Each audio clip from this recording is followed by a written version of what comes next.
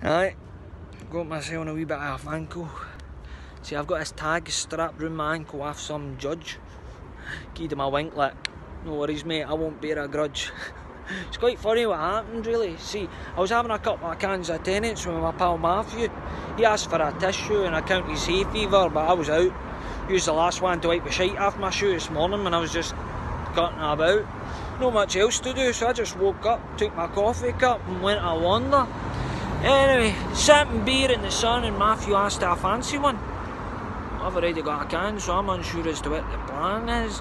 As he whips out a bag, we one half as big as my palm, and I'm thinking, you're some man. As he takes out his skis, and I feel the summer breeze in the back of my neck. A few years later, we're up some tree, and Matthew's discovered he didn't want to be a joiner.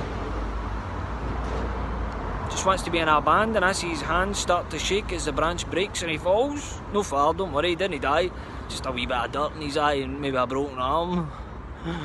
I'm still up the tree howling and shouting, toxic mix of beer, gear and fear. so I took Matthew to the hospital, he's his arm hurt still. As he gets his x-ray I notice there's a drawer sitting there untouched and open. My thought process a wee bit broken, but I figure what could go wrong? And I think that song by D Ream, things can only get better.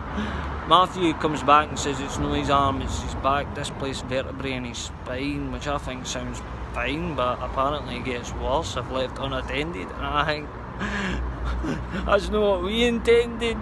Only supposed to be a few cans of tea, and now all the doc can see is his top drawer's empty. Ask me what's happened, I say I'm not sure. Might have been that wee whoer that was in before us. Matthew laughs at us, but the doctor explains he's no taking a piss. Hurry up and tell me or I'll phone the police.